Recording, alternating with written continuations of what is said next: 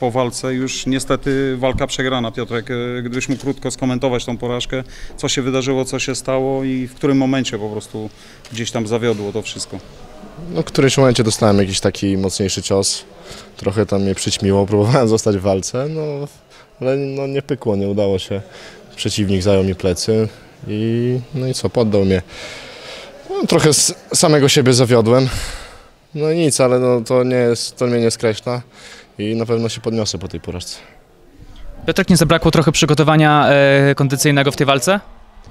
Nie, chyba nie zabrakło. Y, Kon- myślę, że kondycja mnie nie zawiodła, tylko y, co, no, no, zmęczyłem się wstawaniem, aczkolwiek no, chyba jakiś to był po prostu mocny cios, to, to nie, nie, nie, nie zawiodła gdzieś tam kondycja, bo myślę, że siły to jeszcze troszeczkę miałem, żeby to dalej pociągnąć. Ja tak mam, że dosyć szybko się męczę, ale potem utrzymuję ten poziom, więc y, myślę, że, że, że tu bardziej ten y, jakiś mocny cios zaważył. To zdradź nam, jaki był plan na tą walkę? E, No, plan był taki, żeby jak najdłużej utrzymywać stójkę. Jak będzie obalał, to żeby wstawać. Myślę, że w miarę konsekwentnie trzymałem się planu. No, nie przewidziałem, że rywal mnie trafi. I, i co, no.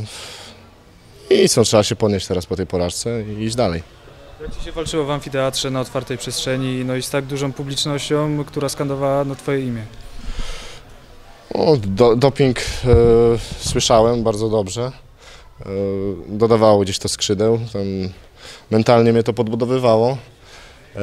E, jeśli chodzi o taką otwartą przestrzeń, było troszeczkę chłodno, bo dzisiaj wiatr wiał, to tak e, z jednej strony dobrze, z drugiej może nie do końca, bo jednak gdzieś tam te, chociaż przy takiej adrenalinie ciosów nie było czuć za bardzo. E, no ale co, no, no nic, no, ogólnie Ostruda fajne miejsce, także no nic, no lecimy dalej, no. trzeba się podnieść po tym wszystkim. Trzeba się podnieść. Ja- Jakie masz plany na swoją karierę, jeżeli chodzi o najbliższe miesiące? Teraz trzeba chwilę odpocząć i co, no i zaczynamy, y, znaczy trzeba przy, teraz obejrzeć walkę za jakiś czas, e, przejrzeć wszystkie te błędy, które popełniłem, e, pomyśleć nad poprawą i jedziemy dalej. Chciałbyś wrócić jeszcze w tym roku do klatki? Myślę, że tak. Raczej no, jakaś tam drobna przerwa, ale możemy potem rozpocząć jakieś przygotowania od razu. No, chciałbym trochę się odbudować teraz, no nie? Zrażony do MMA, czy raczej to jest taki moment, że po prostu chcesz jeszcze mocniej cisnąć trening, poprawiać się? Jeszcze chcę, chcę jeszcze mocniej. Jestem zmotywowany. e, Nie byłem jakoś zestresowany tą walką.